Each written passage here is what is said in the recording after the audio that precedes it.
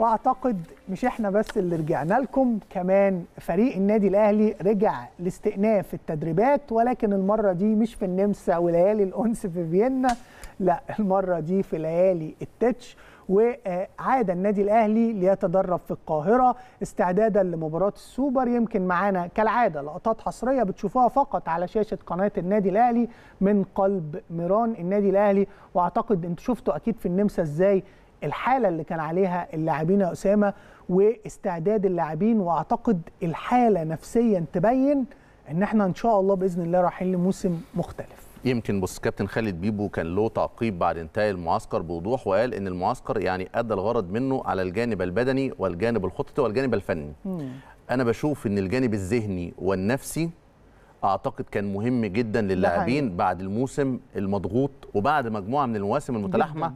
كنا نفتقد فيها لمعسكرات في الأجواء اللي زي دي. مم. فالحقيقة المعسكر ده أنا بالنسبة لي بشوفه هو نوع من أنواع أو أفضل أنواع تكريم اللاعبين دول على إنجازهم الموسم الماضي إن هم ياخدوا معسكر في النمسا. شفنا المكان كان مختار بعناية فائقة. شفنا المشاهد الطبيعية فارس يمكن بعض اللاعبين كان بيعلق على إنه مش عايز يجي من هناك. يعني الحقيقة فالمكان كان رائع جدا. يمكن حتى أستاذ إيهاب الخطيب قبل الهوا كان بيقول لنا أنا هناك كنت هفضل بقى مش هقول الجملة الباقية عشان ما ما ضيعوش. هناك كنت هفضل عايش على طول. فالحقيقة يعني المعسكر كان رائع من الجانب النفسي. وعايز أقول لكم إن اللي استفاد من المعسكر ده أكتر من اللاعبين اللي كان عندهم مواسم متلاحمة أيضا.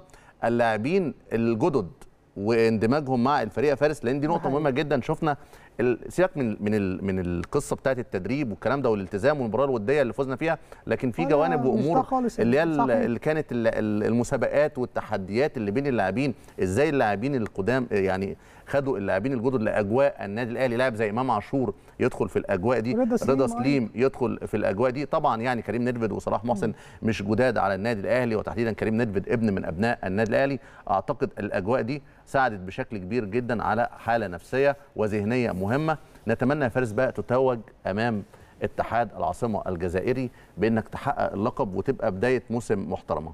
طبعا يعني آه في ظهور لأجهزة جديدة خد بالك. بص أجهزة جديدة كولر في القصة دي آه يعني اللي الواحد بيشوفه في كتير جدا من صور التدريبات بره آه بقيت تبدأ تشوفه في النادي الأهلي. وأنا بقول تبدأ لأن إحنا فعلا كنا محتاجين الخطوة دي. حتى أسامة خطوة القياسات البدنية اللي عملناها السنة اللي فاتت بالزبط. كانت حاجة مهمة. يمكن أنا عايز أقول لك حتى كمان ما فوتش فرصة وجاب أجهزة من من وهو في معسكر النمسا قدر مع يعني إدارة النادي الأهلي إن هو يجيب بعض الأجهزة للتدريبات من من بلجيكا على ما أعتقد. طبعا يعني أكيد إن شاء الله موسم جديد يكون مهم جدا وصلاح محسن أهو في الصورة أكيد برضو عليه مسؤولية كبيرة السنة دي إن هو يثبت إن هو راجع عشان يعمل شيء مختلف مع مدير فني بيهتم كتير جدا بالأمور البدنية.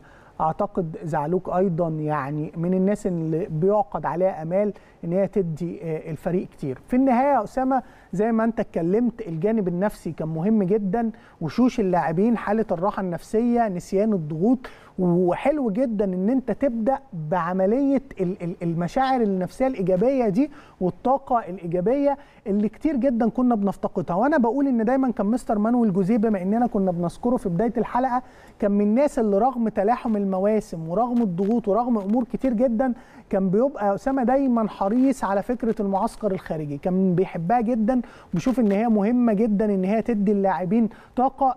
فعلا في النهاية القصة مش مباريات أكيد لأن دي مش الفكرة. انت الفكرة ان انت توصل اللاعبين كلهم لحالة ذهنية ونفسية وبدنية ويمكن فنية تكون متقاربة أكيد مش متساوية في بداية الموسم. كان شيء مهم جدا. بالظهور فارس برضو يعني إمام عاشور قدامنا ورضا سليم وبعض اللاعبين ولكن خليني أخص إمام عاشور وأكرم توفيق. وكريم فؤاد أيضا استفادوا من المعسكر ده. استفادة مهمة جدا إن هم اطمئنوا تماما مع الطبيب على المعالج. حالتهم الطبية. آه على حالتهم الطبية وأصبحوا جاهزين للمشاركة بنسبة كبيرة. وده اللي خلانا نشوف لاعب زي إمام عاشور كان بعيد عن التدريب وعن مباراة أربع شهور إن هو يرجع في المباراة الودية وخد وقت أكتر مما كان يعني كولر حطه في حساباته يعني. هو إمام عاشور شارك؟ آه تقريبا. آه، كان كان الناس بتقول لسه قدامه يعني خمس ست سبع ثمان شهور. آه آه لكن الحقيقة لا إمام إمام شارك ويعني ممكن يكون بشكل أو بآخر عنده آه، في حسابات كولر كجزء ممكن ربما آه، نعم. آه، من مباراة لسه بيدخل السوبر. وبعيد آه، للإصابة.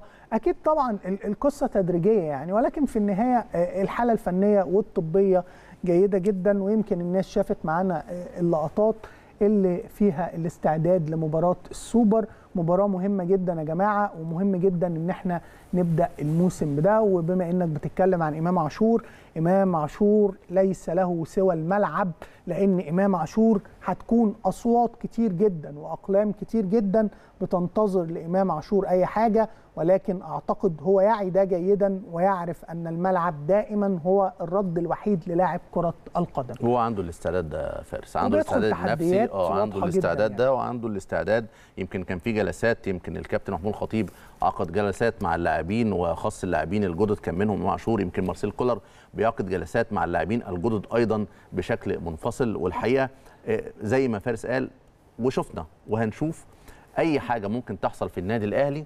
على طول هتلاقي اسم إمام عاشور بيتم استدعائه زي ما كهربا يعني يمكن أكتر واحد سعيد بقصة إمام عاشور دي كهربا إن الضغط هيتخف عليه شوية وأنا رزمة. أنت رزمة بدل ما أنا كنت. واخد كل الضغط آه. بدل ما بدل ما كنت أنا واخد كل الضغط تعالى شيل معايا شوية إمام فعشان كده آه، يعني رفقا جماهير النادي الأهلي على اللاعبين ننتظر إمام عاشور لعيب على المستوى الفني والمهاري لعيب كواليتي عالي جدا إضافة بالتأكيد لنصف الملعب وأيضا آه، رضا سليم وأيضا كريم ندفد وعودة صلاح محسن. نتمنى صلاح محسن يعني يستجيب يستجيب بشكل واضح ويستغل للأمانة. أنت لما يكون عندك مدير فني زي مارسيل كولر بالجهاز الفني المعاون ده لازم تستغل ده.